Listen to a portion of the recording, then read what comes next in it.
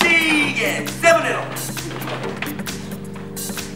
동작을 크게 하는 게 아니라 박자 은근히 좀 빨라요. 보면 되겠어 빠르기 때문에 동작을 크게 하면 그 박자에 따라가는 게 되게 어려워 동작을 크게 하는 것보다 동작을 적당하게 하는데 빌딩을 최대한 크게 내려고 해주세요.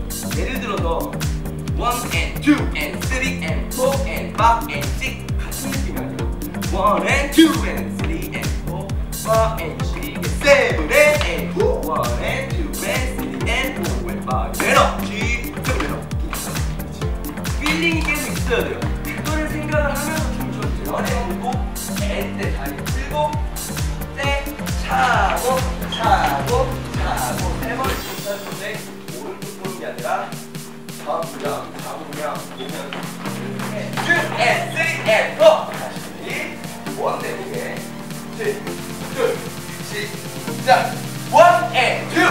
Three and four. 이제 중요한 건 둘이 셋 왼쪽 오른쪽으로 그냥 앞으로 시작. two and 시작. two and 편안하게 여기서 리듬을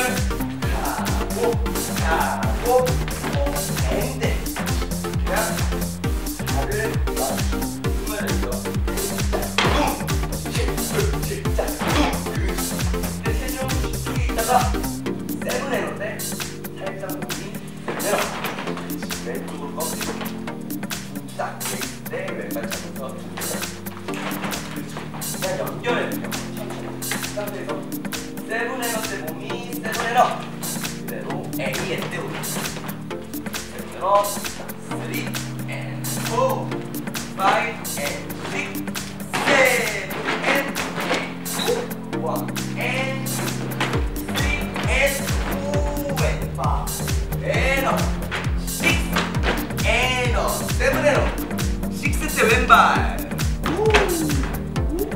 그대로 7 and up 때 그대로 준비되세요 3 and 4 5 and 6 and 7 and 8 1 and 3 and 4 and 5 and up 6 and 7 and up 그대로 오른쪽 손으로 고개를 이게 타이밍이 1, 2 그렇죠 이때 체중이 왼발에 있잖아 지금 1, 2때 오른발 다리로 넘어갈 거예요. 말인지 알겠죠?